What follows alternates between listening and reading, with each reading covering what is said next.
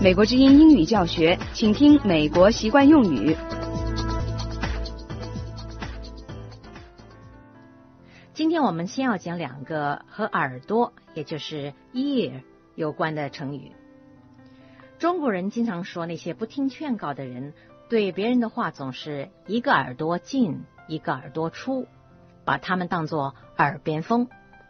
美国也有完全相同的说法，他们是这样说的 ：“It goes in one ear and out the other。”下面是一个父亲在说他的女儿：“I told Sally it was foolish to marry that man, but it went in one ear and out the other.” Now she wishes she'd listened to me. He drinks and gambles, and she wants to leave him. 这个爸爸说：“我早就告诉莎莉，不要那么笨去和那个人结婚。可是对于我的话，他是一个耳朵进，一个耳朵出。 结了婚，他才知道那个人又喝酒又赌钱。现在他后悔当初没听我的话，想要和他分手了。”下面这个例子是一个老板。在对他的秘书说话。How many times have I told you to get to work on time? But my words just go in one ear and out the other, so I don't have any choice but to fire you. 他说：“ 我告诉了你多少次上班要准时，可是你对我的话老是一个耳朵进，一个耳朵出。现在我没办法了，只好解雇你了。”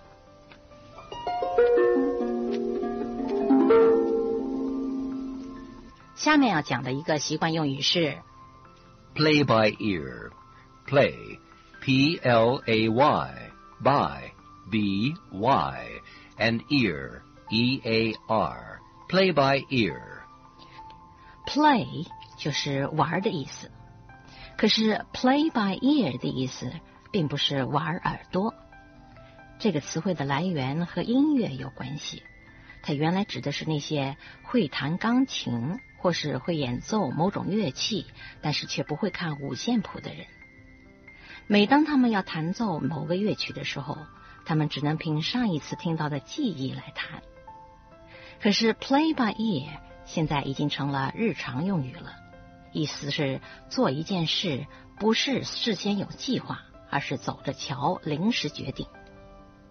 如果你被请到一个地方去讲话，可是又没有时间准备，你就可以对听众说：“I haven't had a chance to prepare any notes, so all I can do is start talking and play it by ear。”这句话的意思是：我今天没有什么准备，所以就只好讲到哪儿就算哪儿了。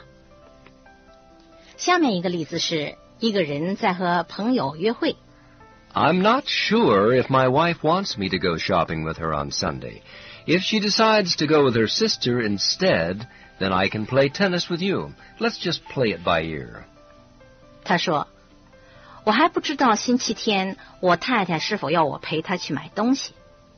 要是他决定和他姐姐一起去的话，那我就能和你去打网球。我们就瞧着办吧。”以上您收听的是美国之音英语教学节目《美国习惯用语》。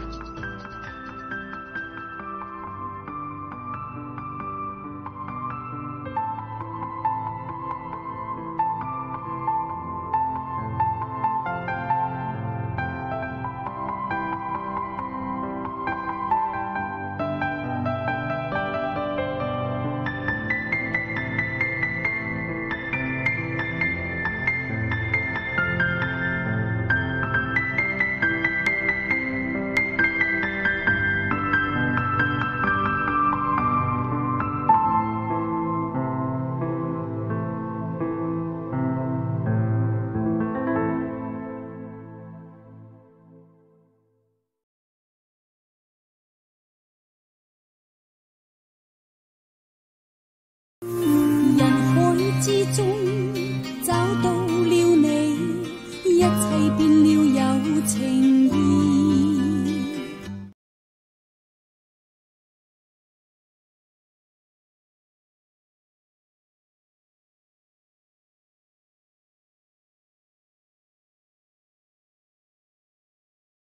Really love.